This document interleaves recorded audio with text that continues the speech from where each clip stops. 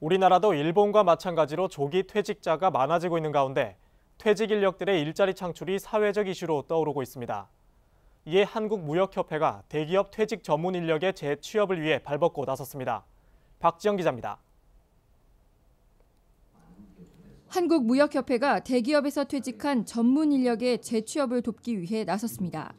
이를 위해 지난 19일 한국무역협회는 삼성전자, LG, 포스코, KT와 MOU를 체결했습니다.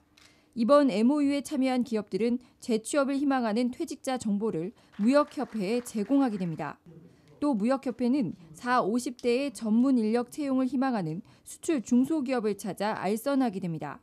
오늘 MOU를 체결한 삼성전자, LG, 포스코, KT 등과 함께 많은 사기업에서 경험을 쌓았던 분들을 6만 5천의 무역업체 회원사에 직접 미스, 아, 매치메이킹을 하는 그런 작업을 통해서 그분들의 재취업을 지원해 나갈 예정입니다. 베이비붐 세대인 50대 이상의 퇴직을 앞두고 있는 인력은 약 311만 명.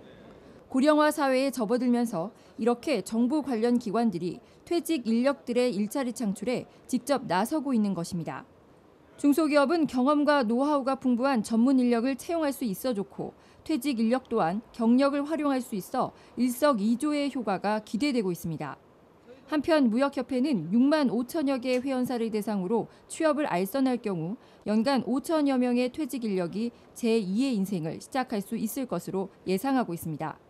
ITX TV 산업뉴스 박지영입니다.